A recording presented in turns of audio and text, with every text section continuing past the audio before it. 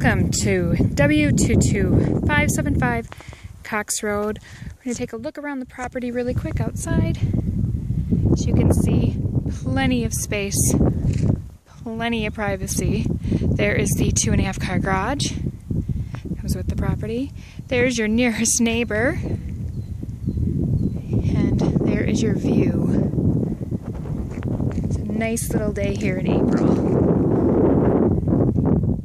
One of many outbuildings that are that come with the property. And of course you got the barn, you can do whatever you want with that. So when we're looking, there's a machine shed straight back there, right on the other side of that tree. That does not come with this property.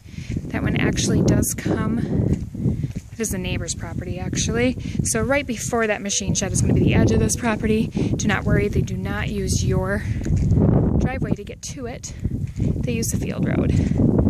So plenty of outbuildings here. We do have one, two right there. And the third one is hiding right there, the red one right in the back. And then the machine shed right next to that on the very back side is also the farmer's property. So the edge of the property line is right around there. So we do sit on a little over two acres right here. Beautiful.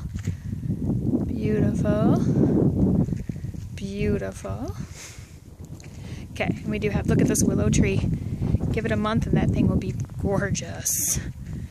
So we're gonna go ahead and walk on inside. So check out my next video if you're interested in taking a look on the inside. Thank you.